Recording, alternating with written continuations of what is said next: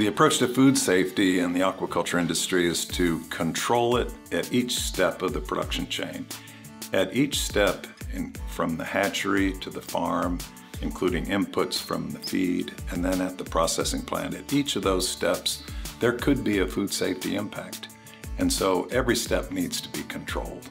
Well, food safety um, in the aquaculture space is, is really about controlling three basic types of risks. You have microbiological risks, uh, you have chemical risks, and you have contaminant risks. So the method they use to control those risks has to do with using HACCP principles, hazard analysis, uh, critical control principles, to assess and figure out preventive controls for those risks, and then you add to that good manufacturing practices, sanitation and hygiene procedures, um, training for the staff, medical checks, and um, verification testing, which is lab testing.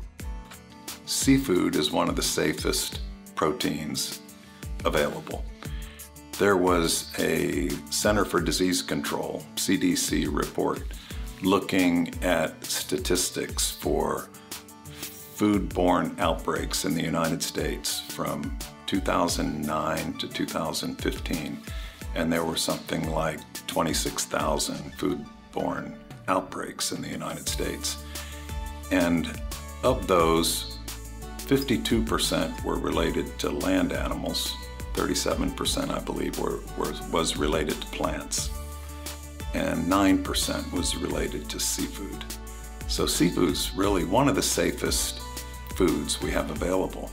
It's no coincidence that the U.S. government dietary guidelines uh, were revised in 2015 to 20 doubling the amount of seafood that we should eat every week because of its healthfulness. There always uh, are ways to improve on food safety, and the challenge is to, once again, to work at each point in the production chain to make sure that safety issues are addressed. That includes both pathogens like salmonella or listeria that can cause bacterial disease, and also contaminants, um, chemicals or residues that can exist in the final product.